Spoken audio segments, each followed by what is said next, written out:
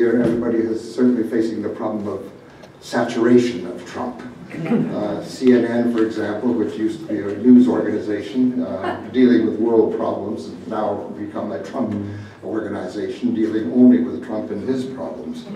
So anyway, my thanks to you for coming here on a day of endless winter, uh, braving the elements to be I'm here. with this while you're talking. Okay, thanks. Now, let's try. Um, This was not meant to be a uh, formal research paper. My interest was aroused during the primaries almost two years ago. And I, almost by accident, watched the first of several debates between 13 or 14 candidates, uh, some retreads, some new. Donald Trump was the surprise element, I suppose. And um, I didn't pay too much attention because these debates uh, don't really talk much about public policy issues. Uh, The formats uh, didn't allow any kind of debate at all. It were just sort of statements uh, made by the candidates and mostly boilerplate type. There were a couple like Jeb Bush who wanted to generate, he had a plan, an American foreign policy plan, but nobody responded to it. They were not interested. All eyes seemed to be focused on Trump. Uh, It struck me after watching two or three of these debates, there was something unique about Trump's approach to the debates. Uh, One was that he refused to discuss any policy issues in detail, he just didn't know. He had a couple of major themes, he indulged in numerous insults.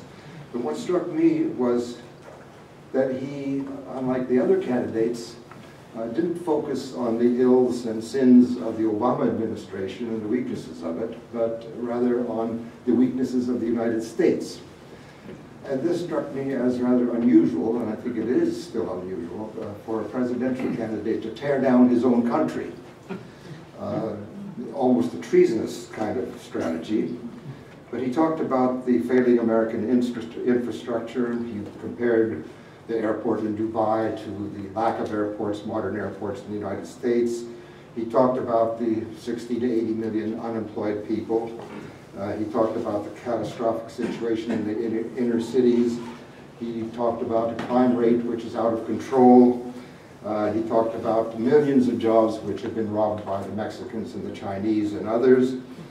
And uh, he, though he criticized um, Obama, uh, he really focused on a, for making a character of the United States as essentially a disaster. And this struck me as rather interesting and unique.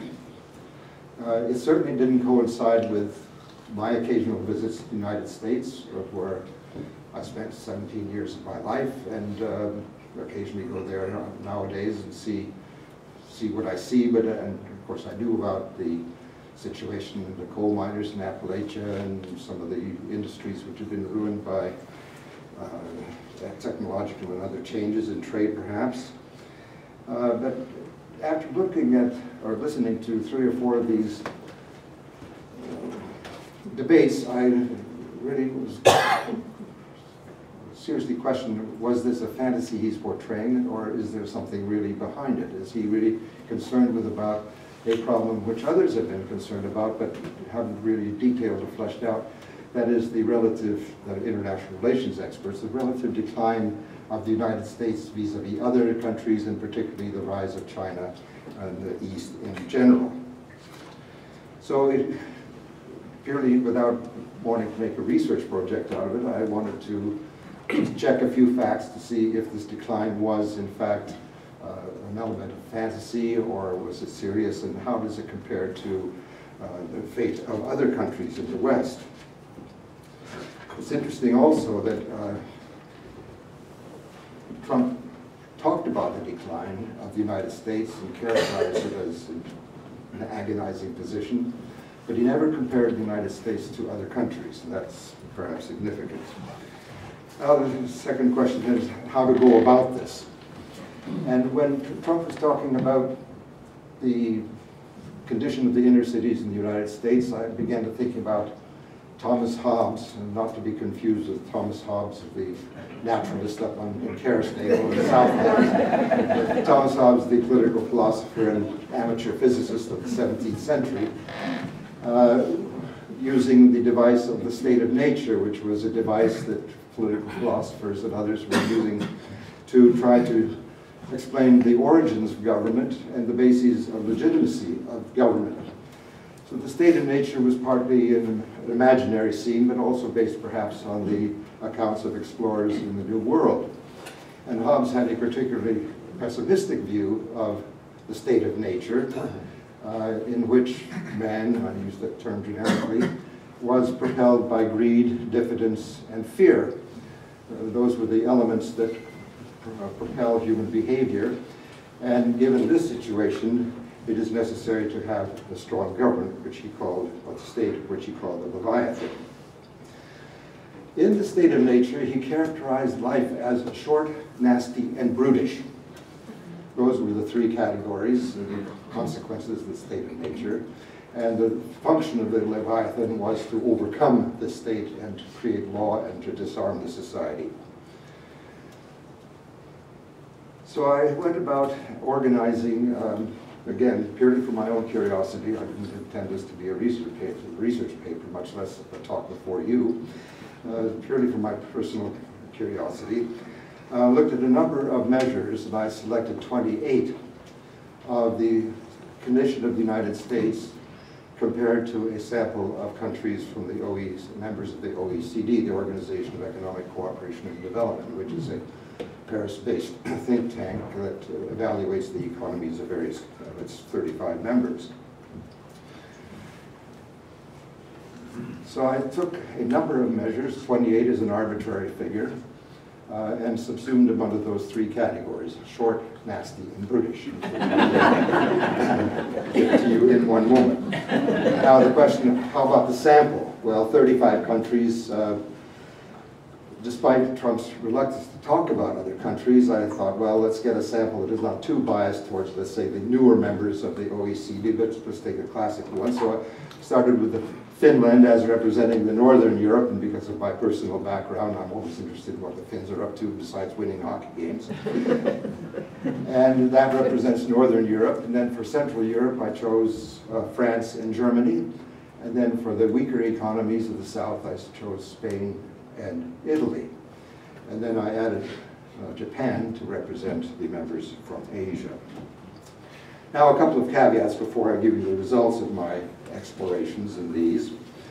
Uh, first of all, uh, this is a portrait.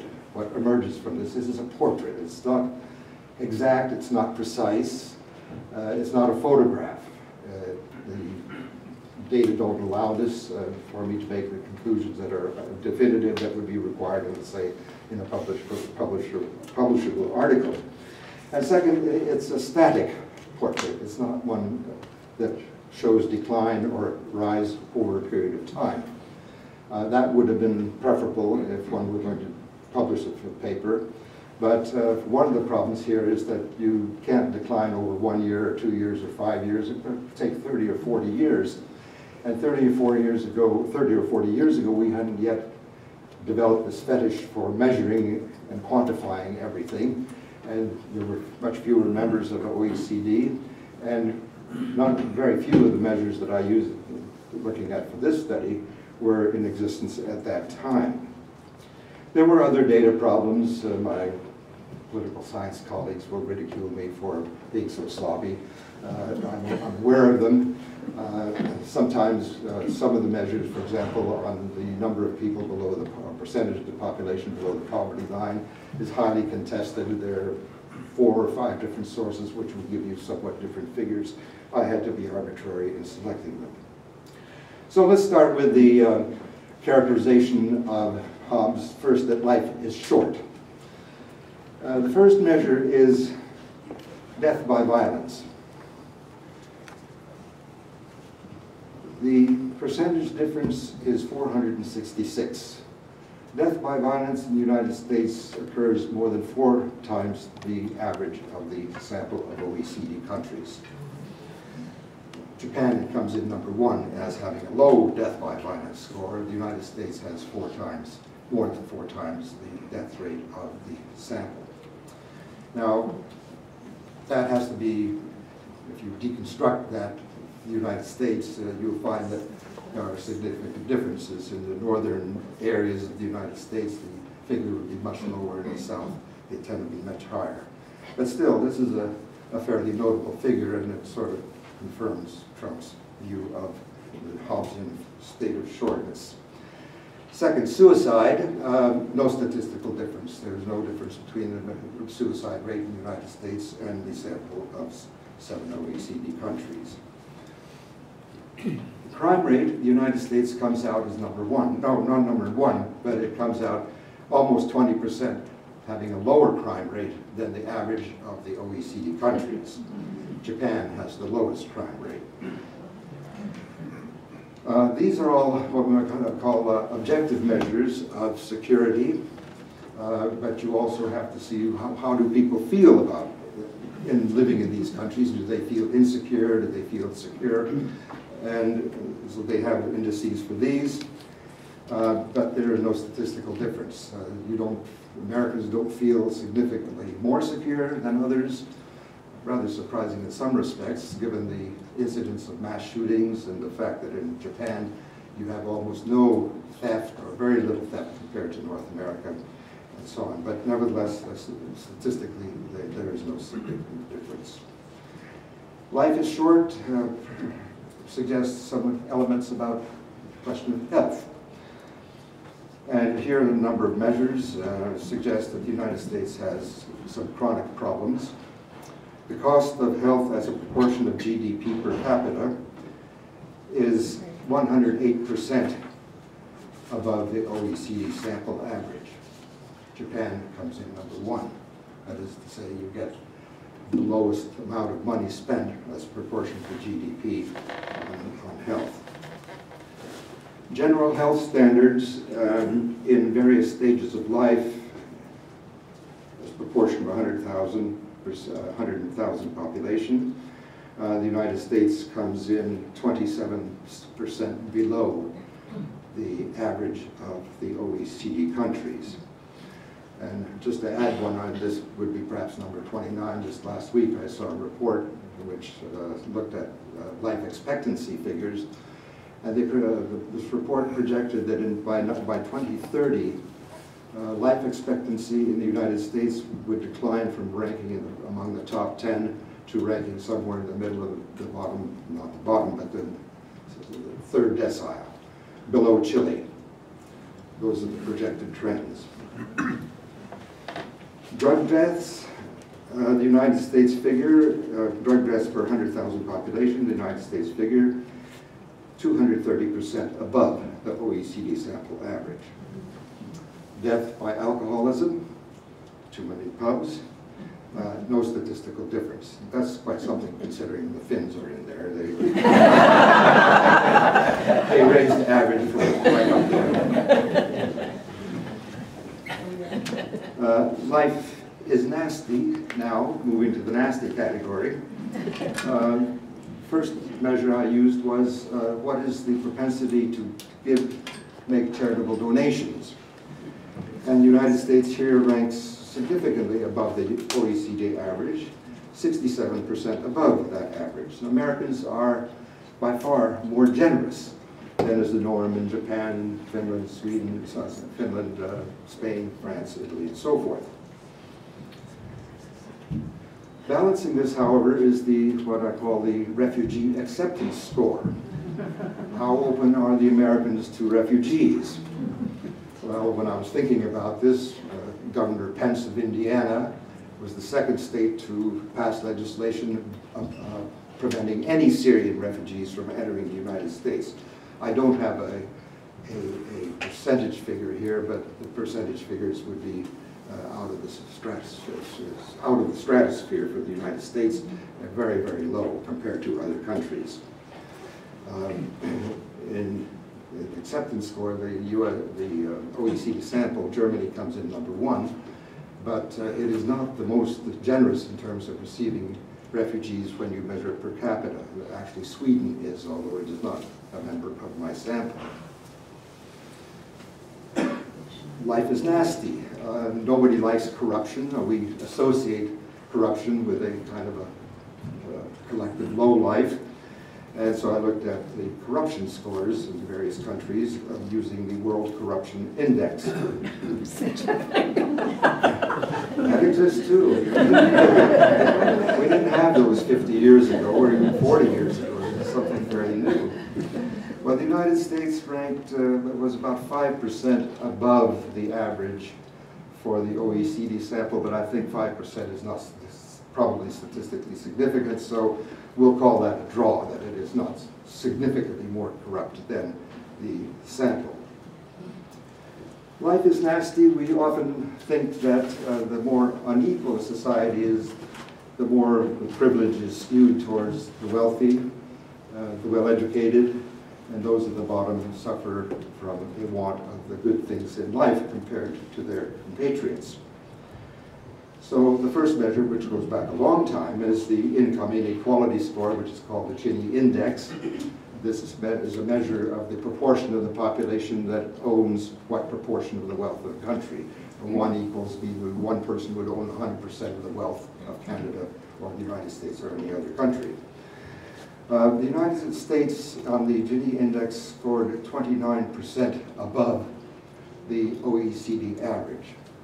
Finland was the country with the best score, that is to say that a lower proportion of the population owned a, not an unequal proportion of the total wealth of the country.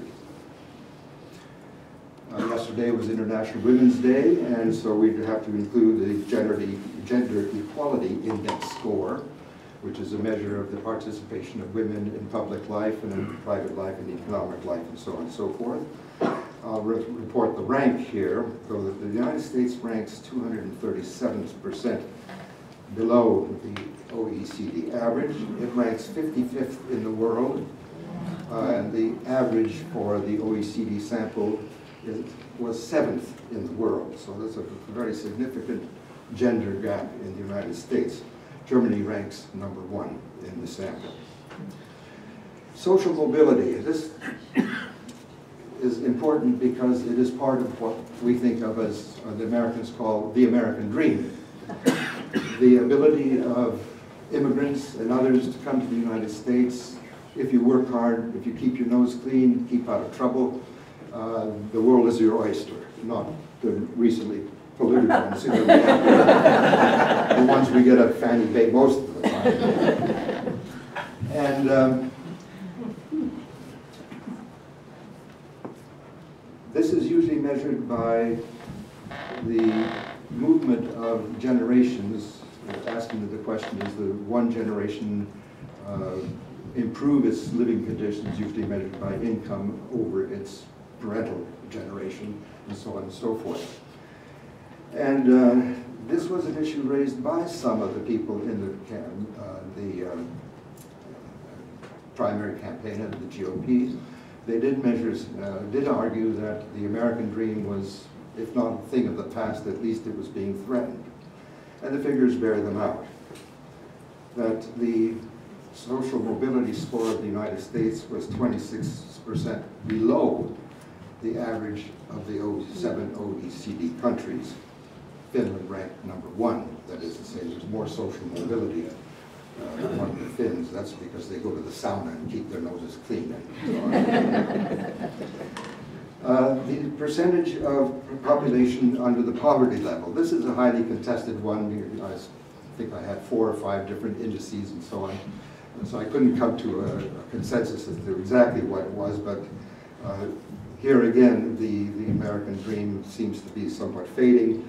That the United States level of poverty was 34% higher than the average level of poverty in the OECD sample. Now, at the time of Thomas Hobbes, uh, there wasn't any talk about the, uh, the environment. However, I must remind you that, uh, as a serious footnote, that at the time Hobbes was writing, he was writing when he was in Paris in the Loyalist forces, uh, the British were very busy hacking down all their oak trees to build a larger naval, naval force. And because they hacked down all their oak trees, they began having to import wood from Scandinavia. And this led to all kinds of conflict with the Dutch who were trying to maintain hegemony uh, over the seas, the North Sea.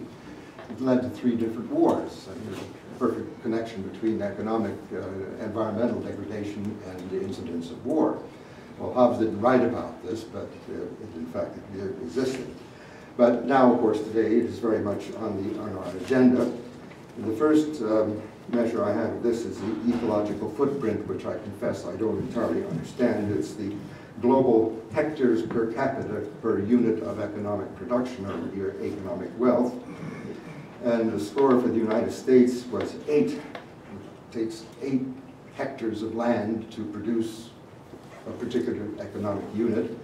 And the OECD sample average was 5.23, so it was about a 59% difference between them. The United States, much larger environmental footprint for its economic activities. Japan had the lowest economic impact. Ga- greenhouse gas emissions, uh, the United States 137% above the average of the OECD sample, where Italy had the lowest emissions. I just was watching on CNN this morning that uh, the new staff of the uh, Environmental Protection Agency is now convinced that CO2 emissions have nothing to do with environmental problems climate change. Life is nasty. About economic conditions, uh, life of, of want and poverty. Uh, infrastructure is one that I expected to find significant differences between the United States and the OECD. One only has to ride bullet trains in Japan and even rural trains in Japan and compare them what, to the Amtrak trains in the United States to see very fundamental differences. But uh, this, the, two, the two scales that I found, in fact, no statistical difference between the OECD sample countries and the United States. The United States ranked 13% uh, higher on the scale of innovation from the sample. It ranked 41% higher on the com competitiveness scale, which is important because that leads to as a measure of innovation. On the ease of doing business, there was no statistical difference between the sample and the United States. And on the unemployment rate, the United States ranked 23% above the sample. That is to say, there was less unemployment in the United States than in the sample of OECD countries. Japan, of course, has traditionally and chronically had the lowest unemployment rate. And finally, we come to Hobbes's notion of the brutish life. And I measured the brutish life by physical incarceration, by lack of, of uh, educational opportunity, and by measures of lack of democracy and press freedom. In other words, things that constrain the mind rather than constrain the body. The incarceration rate in the United States per 100,000 population is 742% higher than the OECD sample score. In the OECD uh, sample country, countries, the average was 85 people per 100,000 are in some form of detention, whether it's immigration, incarceration in federal, state, county, municipal jails. In the United States, it's 716 persons in such condition out of 100,000. Hillary Clinton tried to make this a major element of her program and her campaign, insisting on the need for judicial reform in part. This problem exists because of her husband's initiatives, whether when he was president, uh, three strikes and you're out, and various other kinds of, of uh, uh, limitations on judicial uh, competence to adjust adjust penalties to the nature of the crime, and making them automatic instead. So here is a very significant difference and indicates a kind of a brutish life. School rankings, these one has to take a little bit with a grain of salt. Um, on a 100, uh, 190 country scale, the OECD, OECD sample average was ranked 17th. The United States ranked 29th. Japan here came number one, though having some familiarity with Japanese elementary schools. I'm little dubious about this because they emphasize rote memorization. Uh, trying, trying to talk to a Japanese teenager who's taken three years of English, I can tell you, uh, is a real challenge. You say something and a, a stock answer will come by, you know, they have nothing to do with the question that you asked. University rankings, the, here in the United States excels by, by a long shot. And it's the number, number of universities in the top 200 universities in the world, and the United States has by far the greatest proportion of them. I don't know if John Helliwell is here today, but John in the economics department was largely responsible for developing the human happiness index. I don't know to what extent he was influenced by Bhutan, the king of Bhutan, uh, who developed this idea of economic happiness instead of gross national product. Uh, but one of the components of John's index of the human happiness report is self-perceptions of happiness. Don't measure people by their education, their income, and things like that. Ask people, how happy are you in your life? And they have a set of questions to get at, the, at this particular answer. And here, the United States, Americans on average are happier by about 10% than the people in the OECD sample countries. Uh, rather contrary to what one would have expected if you thought Trump was characterizing the United States accurately. Americans on the whole tend to be fairly happy. Obviously some very unhappy ones, but uh, uh, not the case. Uh, incidentally, not waving flags or anything, but the happiest people in the world are the Finns.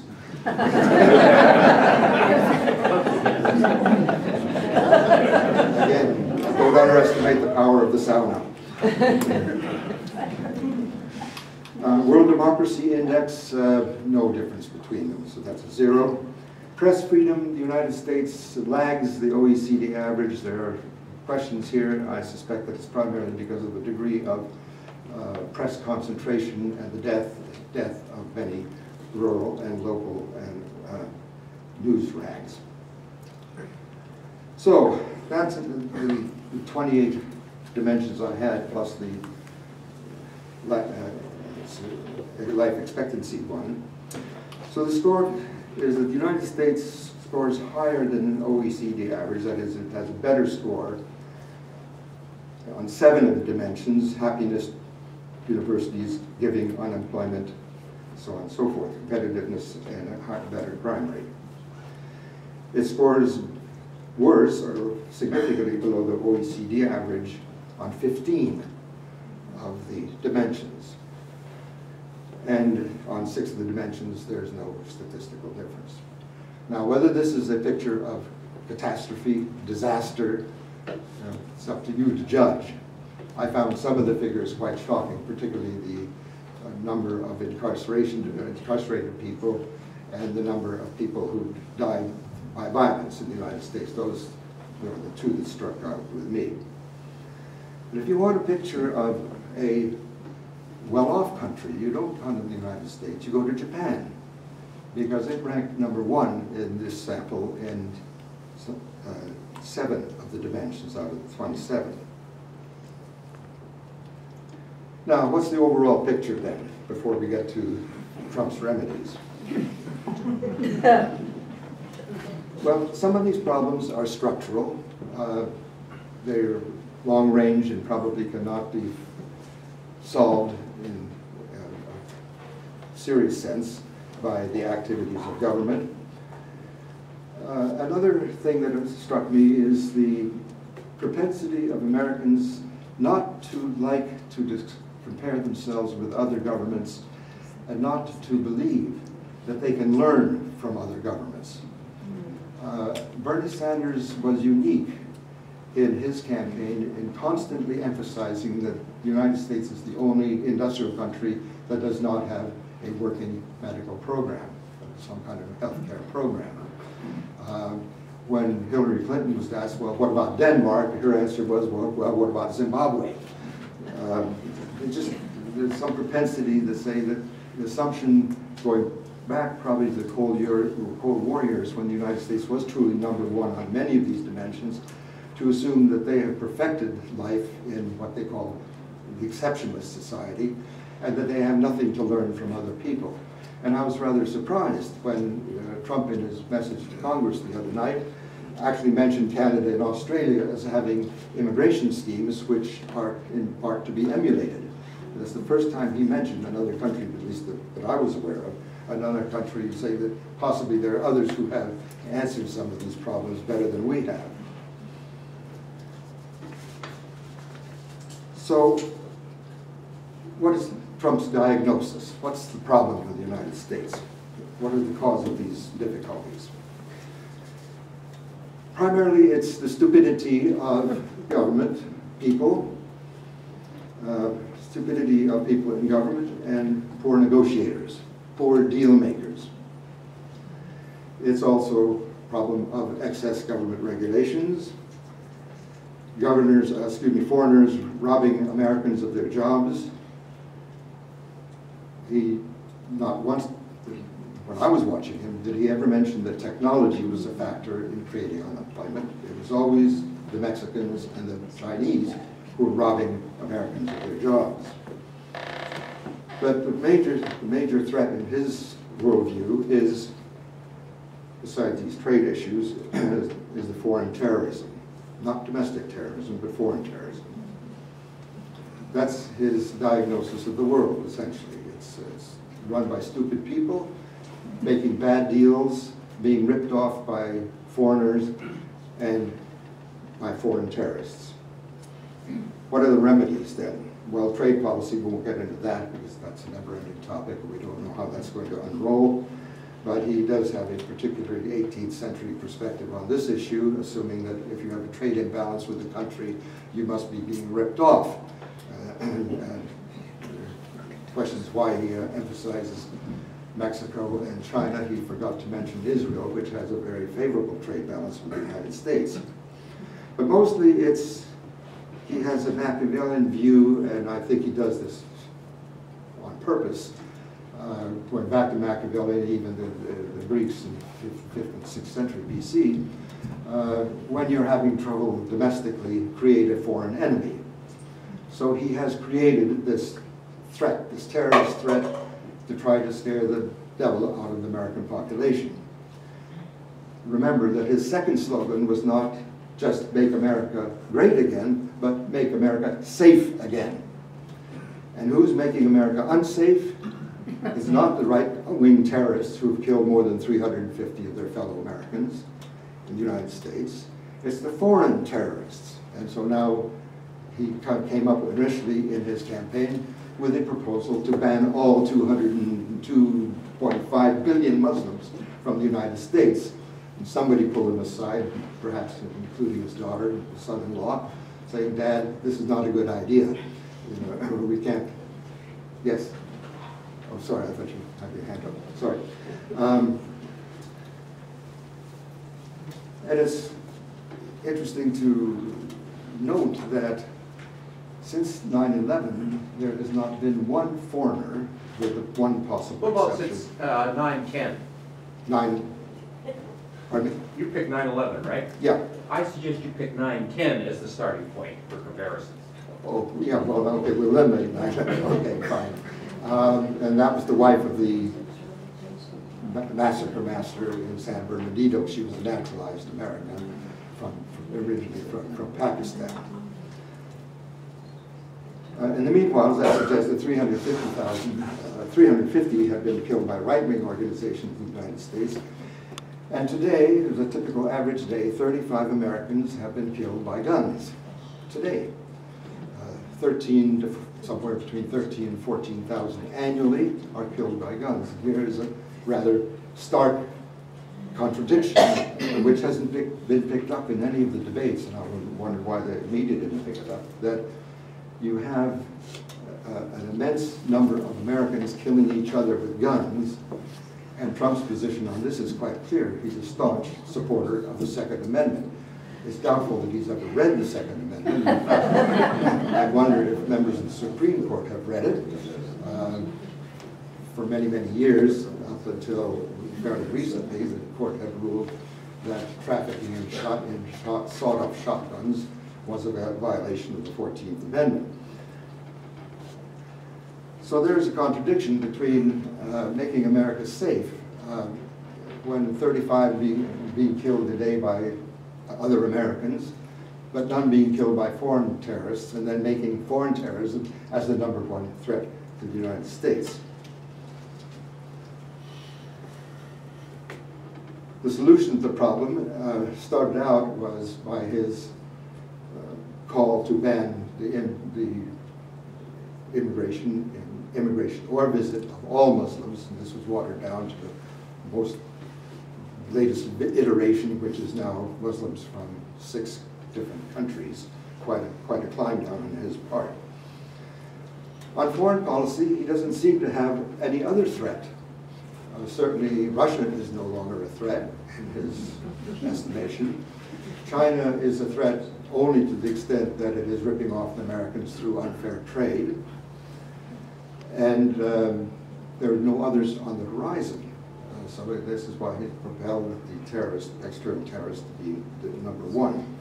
There, at the moment, considerable incoherence in foreign policy because there's nobody really to run the shop. They haven't staffed the, the State Department, and he doesn't seem to be very interested in various issues. I just remember was uh, one episode. He was on the phone with Vladimir Putin, and Putin uh, suggested to him that they should start discussions about renewing the START agreement, which is an arms control agreement dealing with intercontinental ballistic missiles, ICBMs. Trump had to ask one of his staffs, what the hell is START? He didn't know. He had no idea what, what Putin was talking about. These things are quite uh, foreign to him. Well, uh, on the sh question of short life, we- we've now seen the House have come up with a bill for the repeal of Obamacare and something to replace it. And I have no idea what's going to come of that. I, I'm not an expert on American public policy or domestic politics, and I certainly can keep away from that particular labyrinth. We'll have to watch how that develops.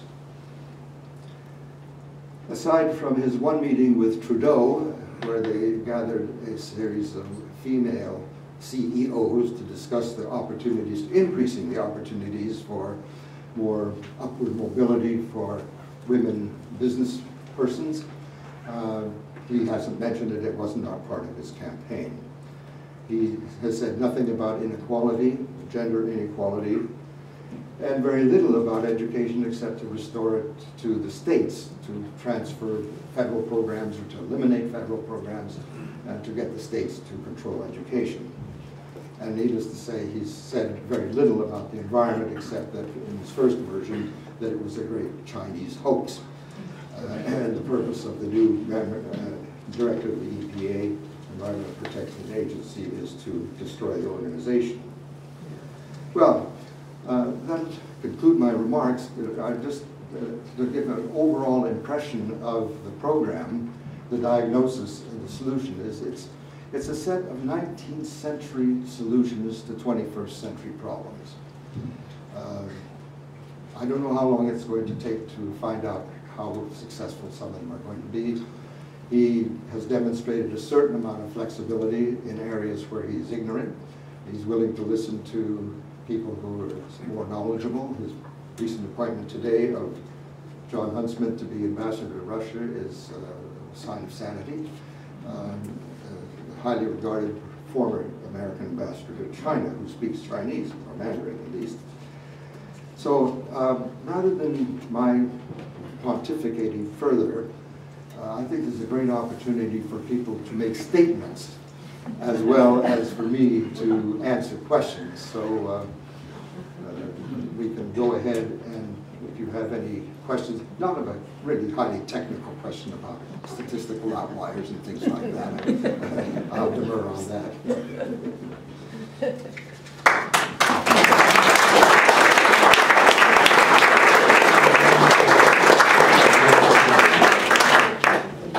The first is, I think it's, it's just not right to quote the three hundred people who were killed by right-wing terrorism in Oklahoma City and ignore the 3,000, 27 of whom were Canadians, who were killed by Muslim terrorists on 9/11, 2001 in New York City. Okay, I don't think it's right to start, you know, you said after 9/11. I think you should, that's why I said start at 9/10, Yeah. and it's 10 to 1 in favor of Muslim terrorists over right-wing terrorists That's in the United yeah. States. The second item is this business of income inequality. I think it's a phony issue, it's an, in- it's an issue that is raised by people who are just envious. The legitimate issue is what is the income of the bottom ten percent compared to the average? Because the average tells you how much money you have to distribute via progressive taxation system. And you pick a figure, a third, a quarter, I don't know, whatever you want. And then say in how many people have an income below twenty-five percent or thirty percent, whatever you want, of the average. And you can, that is a legitimate comparison. It's particularly valid because it emphasizes the importance of getting the average income as high as possible, which is productivity. And that's where Canada fails, by the way, compared to the United States. I'll Take your advice. Good advice.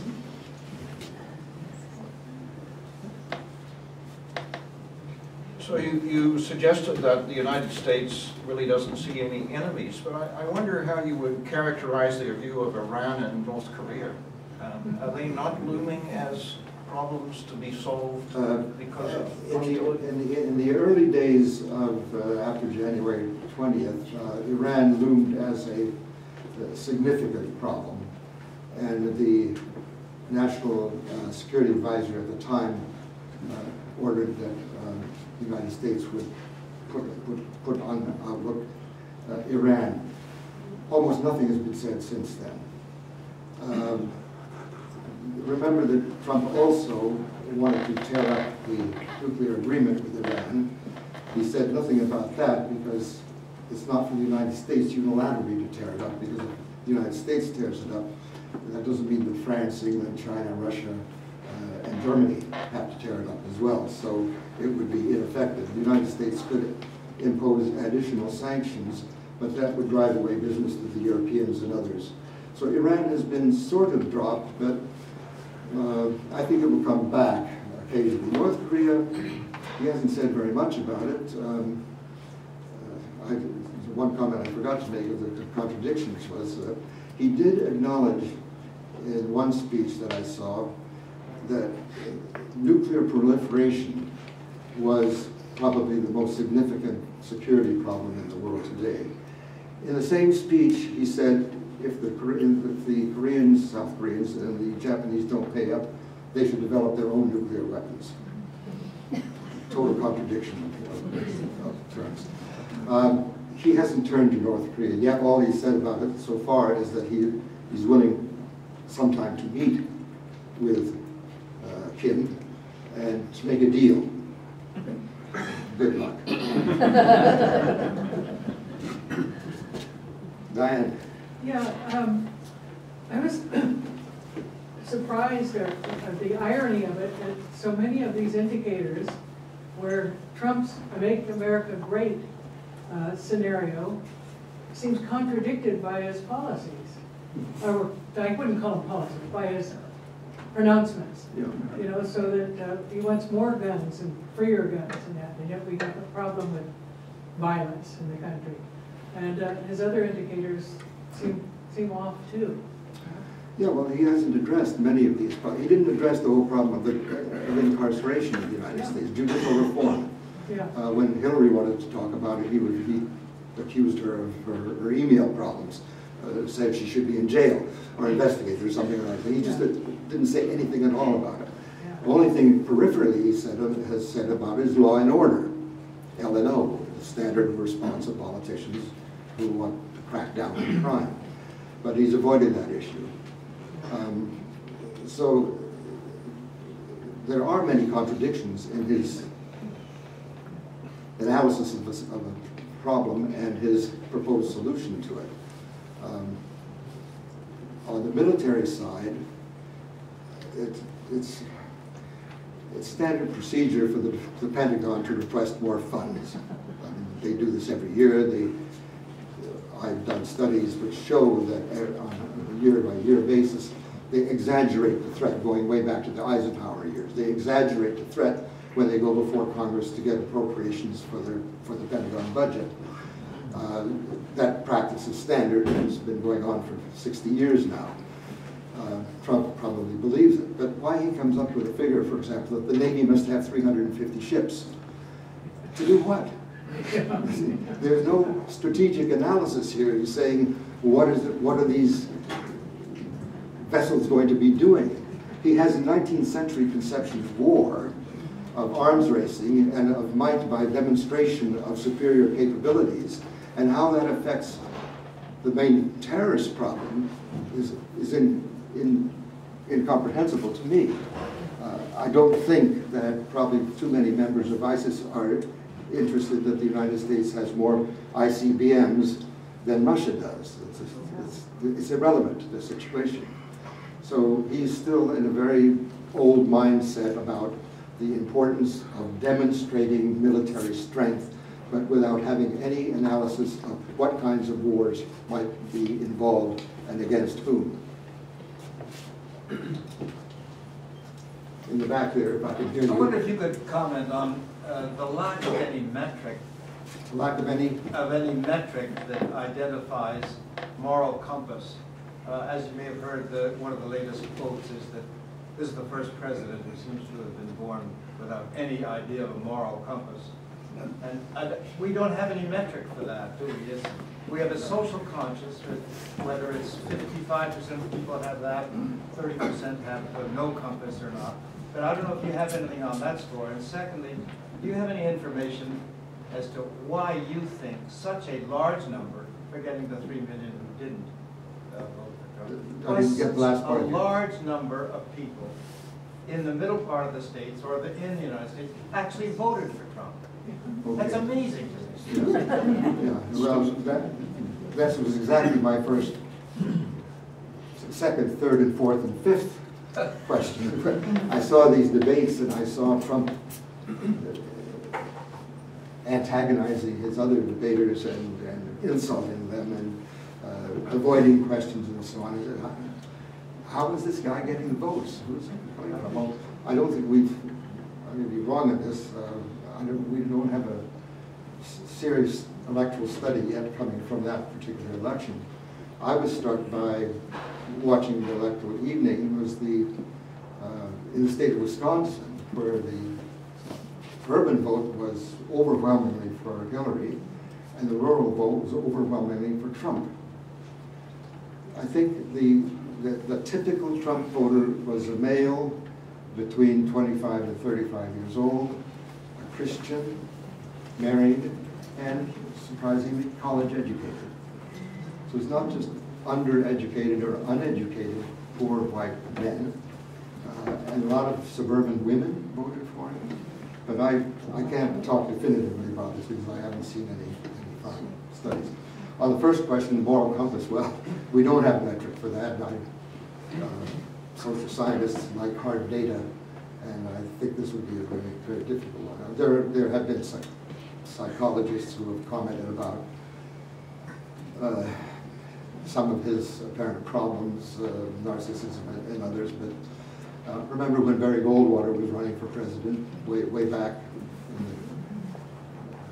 the Jurassic period?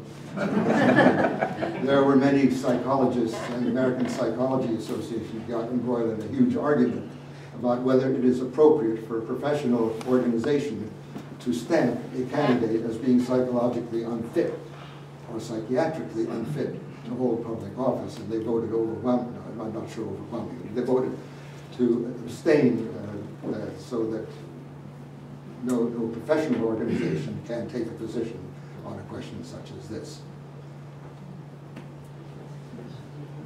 A question on your study, uh, which I find, I find fascinating. However, the United States is a patchwork quilt of various state-based economies, state-based cultures, state-based values, uh, over which the governance of that particular state has a fair amount of sway.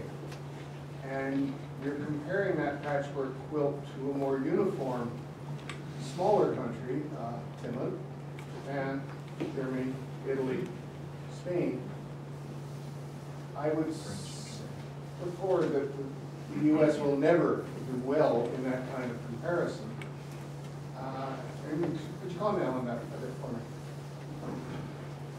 Well, the United States uh, and, and Canada and Australia are unique, uh, in, and perhaps Argentina, unique in the sense of being literally immigrant societies made up by immigrants. Certainly the case in, in uh, Japan or Finland or, or most of the other countries, although France uh, may be getting closely to, to that.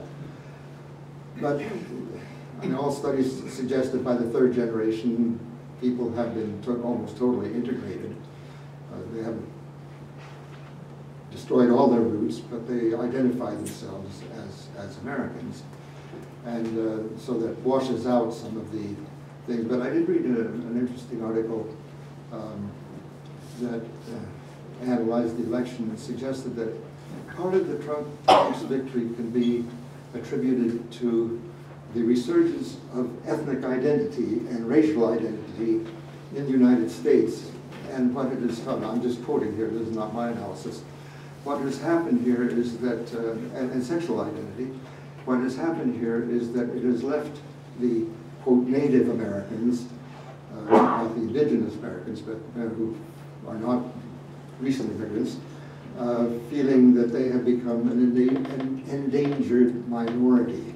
And if things continue to go as they are now, they will soon be indeed a numerical minority.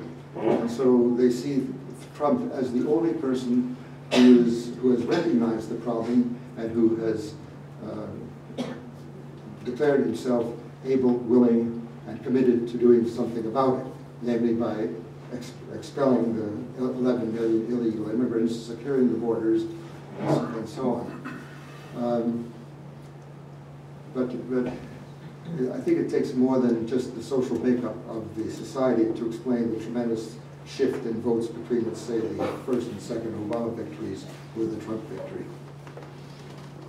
Yes. Um, something that was really nasty and brutish about this campaign, which has not appeared, I think, in other campaigns, was the meme wars. Um, the, the way in which the internet was used in very destructive fashion, particularly on Hillary. So do you have any sense of how that influenced the messages that he was putting out? Of what was going on in the meme wars with pushing his messages? I think one thing that, uh, that worries me, among several, uh, is, are the figures which suggest the de- significantly declining trust in the American public in the traditional media. Uh, You may not agree with Fox News or CNN or MNBC and so on and so forth, but at least they have some semblance of professional standards. Uh, there may be a few like Hannity who may be excluded from that category. But most of them uh, try to be professional. Where you have the proliferation of these blogs and bloggers and Bart Bat rights and Bart rights and so on and so forth, there's no quality control. And people who are not fairly discriminating are incapable of judging what has some merit to it and what does not have merit to it. So now we enter kind of a, a new era, we've already talked about it, you know, alternative facts and, and so on. And, and this, is- this is quite worrisome. The second comment about this is that uh, Americans, uh, I have no idea what proportion, but to give you an indication, uh, are quite ignorant of the outside world. Uh, On a test, uh, asking a question about the Ukraine, the first question was, please locate Ukraine on the map of the world. Only one out of six people asked, were able to locate Ukraine anywhere near its actual location. Some put Argentina where Argentina is, some put where Australia is, and, and others. So, and there are many, many studies which, which tend to show this, that uh, how can you, if you don't even have a basic knowledge of the state of the world, can you make a judgment between what is a right-wing racist publication versus CNN or Fox or and NBC. We have no basis for judging what is correct and what is incorrect. It's worrisome. Yes? From a political point of view in the States, they're not familiar enough with it, are the kind of mass demonstrations and so on that are going on against Trump, can they actually do anything? What, what do you feel the purpose is and and what they might accomplish, if anything? Uh, The question is, these demonstrations, I'm not sure that they're mass or not, but uh, the TV cameras focus on the large group, and we don't know how extensive the group is. Um, Do they have any effect? Well, probably not. I think in the evening on the news, uh, maybe uh, Trump is aware of them, but he hasn't commented very much. When he has commented on them, uh, he has denigrated them as being professional thugs uh, and people who've been paid to show up to demonstrate against him. But uh, I think my impression is that these town hall meetings with congressmen uh, have more influence than do demonstrations in Washington or Seattle that are directed sort of towards Trump himself. That would be my guess. Because if there's going to be opposition to, to Trump that, that is serious, it'll come in the midterm elections in 2018. And uh, some of these Republican congressmen must be rather worried as to whether they should endorse Trump in everything he does and possibly face losing election in 2018 or hedging bets and sort of being selective as to what they support and what they don't support, hoping that thereby to avoid the coattails, the negative coattails of the Trump effect. I'd like to get some more statements if I could. I appreciated yours because you Yeah, know, okay, thank you. I appreciate that, very kind of you. Um, Three things. First of all, with regard to geography, Americans have no knowledge of American geography. I was in New York City recently, and where were you born? Alberta. Oh, where's that? Straight north of Montana. That was not an informative answer. know. We, we all have tales of this. At least in the East Coast, they have no knowledge. Um, With regard to defense spending, uh, Trump has complained that, that uh, everybody is leeching off the Americans, and I think he's right. I'll give you one example.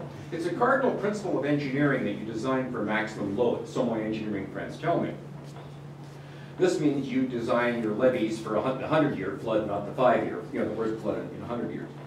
With regard to defense, on 9/11, a very scary date, by 9/11 I mean September 11 2001, a Korean Air 747 bound from Seoul to Toronto inadvertently gave out a "we have been hijacked" signal somewhere over the high Arctic. It was absolutely critical that that plane be kept away from any populated area. Remember, this is a very scary day. And there was nothing that the forces armée Canadienne could do about it. And American F, a pair of American F-16s out of some American air base in Alaska were called in to force the Korean plane to land in Whitehorse. Okay, we are not doing, we have a gigantic landmass, the huge coastline, we're leeching off the Americans, and we're a wealthy nation, it's shameful. Trump is right. Well, he's right, but the, uh, I'll make two comments about the, the defense spending. One, is claimed that the average NATO country spends two percent of G, uh, one percent of GNP on, on defense, and their target is two percent. This has been the case for forty years, since nineteen, NATO was born in nineteen forty-nine. Uh, There's always been a gap between what they commit themselves politically to do, and the Americans have picked up a larger proportion of the bill than they should have. However, it is also the case that, remember, by the end of the Cold War, NATO went through a crisis deciding, what are we, without a Cold War, what, what are we to do? Uh, Without a Soviet Union to defend against, why should you be spending two percent of your gross national product just as an arbitrary figure against a non-threat? That doesn't exist. Well, from the NATO perspective, they're laughing, not laughing, but they're happy now that Russia is misbehaving in certain ways. So they can beef up their, their forces because they now have what they perceive to be as a genuine threat. But in 1991 to 19, to 2006 or 8, there was no such threat. So why should the NATO just be spending money for the sake of spending money without having in mind a particular mission on which to spend it? I'm suggesting that the Soviet Union was not a military threat? Pardon? Are you suggesting that the Soviet Union was not a military threat? Am I suggesting the Soviet Union was? Yeah. No, it's not. Not a military threat? No, it was a threat. So maybe NATO was? So NATO was maybe necessary. Well, uh, at the time, very few people were, not everybody was contributing the full amount to NATO. The Americans were still footing a disproportionate amount of the NATO funds, of of the funds for NATO. There's always been dragging, foot dragging there. But uh, most of the funding on NATO was devoted to nuclear deterrence. Uh, The Danes can't deter the Soviet Union by having an army of 50,000 people. Uh, The Norwegians can't deter them by having an army of 60,000 people, and so on and so forth. The deterrence has to be paid for essentially by the United States. But uh, with all these criteria, the examples, what happens if the population doesn't read them, understand them, or even interested in the information? Excuse me, I had trouble hearing. And what is the relevance to what is happening today? When you have a president who says, what you read in the newspaper is incorrect.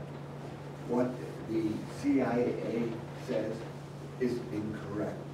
Don't you believe this institution? Don't you believe that institution? Whose main motive is operational pro- procedure is to discredit most of the organizations that we have relied on for information. Now, that is maybe his attitude, but what you're seeing now is a large proportion of the American population not interested in those criteria and following their leader. That would be uh, a singular example, but the same thing is happening in Europe. It's happening, for instance, in France and in Britain, to put two examples. You have large masses of population who don't know these figures and are not interested in finding what makes that.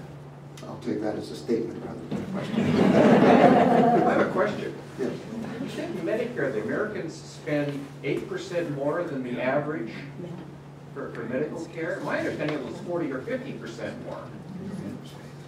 And, and, and I'll have- with with poor results too, that's another story. Yeah, the, the outcomes, that's right, you're right. Uh, uh, They spend 40 or 50%. Yeah, but when we're talking about, yeah, how much money do people spend, I, I thought, I thought in Canada, which was typical, uh, in Germany, Taiwan, South Korea, they spend, you know, 11, 12 percent for GDP for medical care, and the Americans spend eighteen percent. That was my understanding, if I'm wrong, I'm, you know, I'm wrong. The figure I have is hundred eight percent, Beg pardon? one hundred eight percent. That's double or eight percent? Double. percent? More than double. The average. Wow. Zero. So I, so, so my understanding was, it was wrong, they were, I, it's much worse than I thought. I, I think the figure is close to nine thousand dollars per capita for uh, medical, uh, for medical care. In Japan, it's under three thousand, Yeah, okay. So it's, it's over double. over double, for the, for the, for the, above the sample of seven countries. Maybe we'll And, take and the outcomes, the outcomes are poor. Thank you very much. No, thank you. You, you clarified it for me.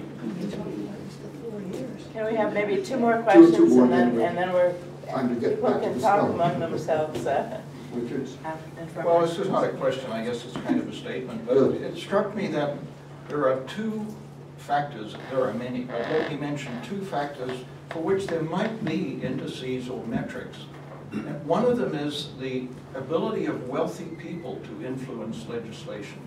which from what I have read is pronounced currently in the United States. And the other is the general feeling amongst the population that religion should be practiced kind of within the community of, of people of that religion, rather than those people feeling that they have a duty and, and able, to- and are able to be successful in actually influencing legislation which will impact people who don't share their religious views. But that seems to be something of a hallmark of the Trump administration as well. If I understand it correctly, he is surrounding himself with people of, of somewhat extreme views, racist, uh, right-wing, misogynist, etc. And that people don't seem to be, or there doesn't seem to be, uh, well, let me just, I'm not sure what there seems to be, but I think there are indices from people or organizations like the Pew group which conducts surveys on social and religious views that might at some point allow you to perhaps include those non-economic metrics that the OECD presumably doesn't pick up on. I uh, forgot to mention my comments. uh, uh, One of the problems facing an integral part of the decline of the United States is the drug problem. And I've cited the figure where the number of drug deaths is substantially above the OECD sample average. Um, What's interesting here is that part of the reason for the wall with Mexico is not to prevent people from coming in, that's the main reason, but to prevent drugs from coming in. I don't think that will work, but uh, that's it. The interesting thing is that his comments on the drugs have emphasized totally the supply side of the question, not a word about the demand side. Why the drugs? Why are, pe- why are the people in Vermont, which he cited many times, why are they infested with, with drugs and so on? It's, it's all blamed on the Mexicans and the others. It's not the kids who are indulging so on. Maybe we'll take that breathing space as a time to, to call a halt. And before I thank Kal, I think we'll invite him to come back in four years and. What- what- Two years, well, we could, we could have a little talk at the mid, midterm elections, but certainly in four years anyway. And before we uh, also thank him, I'd like to mention again that this is our second lecture in what we're calling the occasional emeritus lectures.